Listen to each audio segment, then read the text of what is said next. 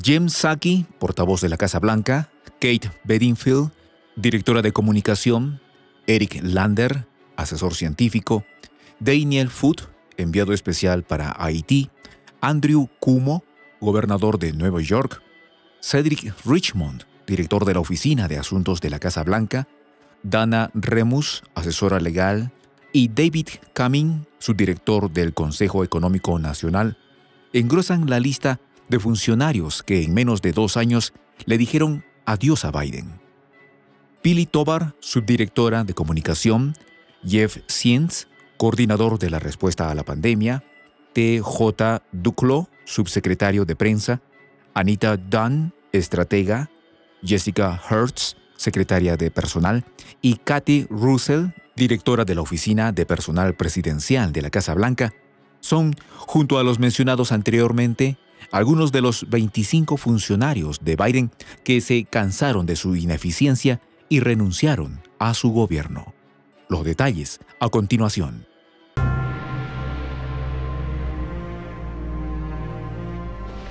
Voz de la Patria Grande. El gobierno de Joe Biden está siendo rechazado desde dentro. Sus propios funcionarios, los mismos que guardaban grandes esperanzas respecto a la gestión del primer mandatario, están apartándose de su gobierno. En año y medio de mandato, Biden ha perdido a 25 funcionarios de áreas clave, la mayoría de ellos por desacuerdos con las decisiones tomadas por el jefe de Estado y por la situación en la que se encuentra el país. Un par de ellos han tenido que dimitir de sus cargos por polémicas que demostraron el desatino del presidente Joe Biden para elegir a su círculo cercano de funcionarios. Las controversias protagonizadas por estos dos altos cargos, los de Andrew Cuomo y Eric Lander, incluyen denuncias por acoso y varios reclamos por maltratar al personal de la Casa Blanca. Sobre este punto, es interesante señalar que en los últimos meses los rumores de crisis en la Casa Blanca se volvieron más frecuentes. Fuentes aseguran que el recinto está plagado de mala gestión y conflictos internos.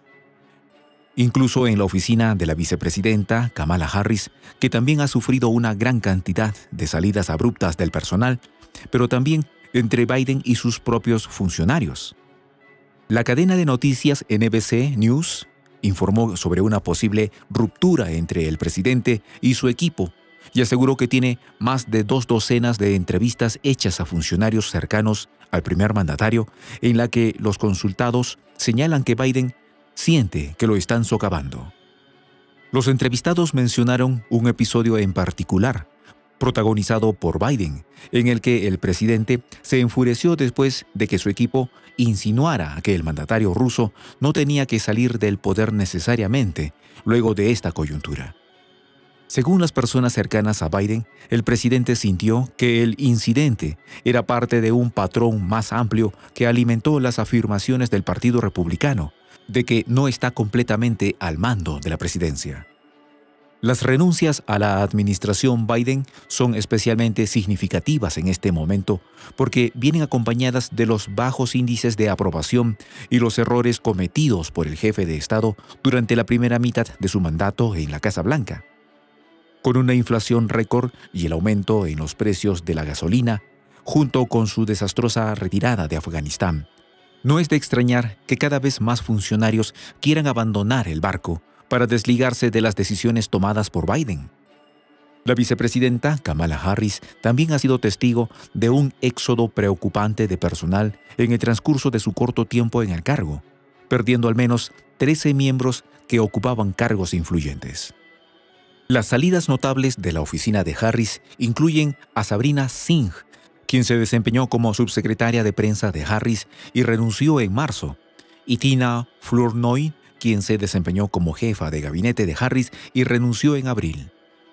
Otras salidas de la oficina de Harris este año incluyen a Vincent Evans, quien se desempeñó como subdirector de Compromiso Público y Asuntos Intergubernamentales, Peter Bells, quien se desempeñó como director de operaciones de prensa. La lista de renuncias presentadas a la vicepresidenta prosigue con Kate Childs Graham, quien se desempeñó como principal redactora de discursos de Harris y renunció en febrero. Nancy McEldowney, quien se desempeñó como asesora de seguridad nacional de Harris y renunció en marzo. Y Michael Fuchs, quien se desempeñó como subjefe de gabinete de Harris y renunció en abril. Lo más preocupante para los demócratas es que este torbellino de renuncias ocurre en un periodo de vital importancia para la administración Biden, cuando se encuentra a cuatro meses de las elecciones de mitad de periodo. Sin embargo, la mayoría está consciente de que hay muchos otros temas y de mayor importancia que van a determinar la casi segura derrota de Biden en las mencionadas elecciones de noviembre. La renuncia más reciente dentro de la administración Biden fue la de Kate Bedingfield, quien fue la mayor defensora del jefe de Estado durante el tiempo en el que se desempeñó como su directora de comunicación. Se dice que Bedingfield se tuvo que enfrentar a varios de los responsables de comunicación de los altos cargos del gobierno de Biden a causa de los constantes lapsus que ha protagonizado el presidente. Los organismos que se mostraron intransigentes con Bedingfield por este tema fueron el Departamento de Defensa de Washington, la Secretaría de Estado y la Secretaría de Economía. La salida de Bedingfield se produce luego de que se registraran serios enfrentamientos entre medios de comunicación y el Departamento de Comunicación de la Casa Blanca, incluidos los medios de izquierda, por la falta de transparencia del gobierno de Biden.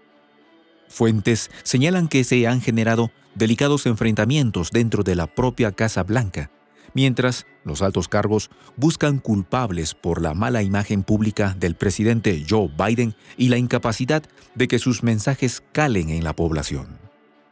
Dos meses antes, otra pieza clave para las comunicaciones del gobierno de Biden, Jem Psaki, quien fuera portavoz del primer mandatario, decidió dejar la Casa Blanca para irse a una empresa privada. Psaki se convirtió en portavoz de la Casa Blanca tras la llegada de Biden al poder en enero de 2021, y con ella se recuperaron las ruedas de prensa diarias del gobierno, una tradición rota durante el gobierno de Donald Trump. Aunque en efecto las ruedas de prensa se recuperaron, la portavoz no pudo cumplir su principal tarea, mantener limpia la imagen de Biden, quien necesita mucho más que una nueva portavoz para salvar su gobierno. Soy el J, Juan José del Castillo, director del canal Prensa Alternativa. Si quieres ser parte de la comunidad de la Patria Grande, suscríbete a nuestro canal. Si es que quieres que te lleguen las notificaciones cada vez que subimos un video, activa la campanita. Si quieres apoyar a nuestro canal económicamente, puedes hacerlo a través de PayPal. El enlace está en la descripción del video. A nombre del equipo de prensa alternativa, me despido con esta expresión en el quechua milenario, Tupananchis Kama, cuya traducción es hasta volvernos a encontrar.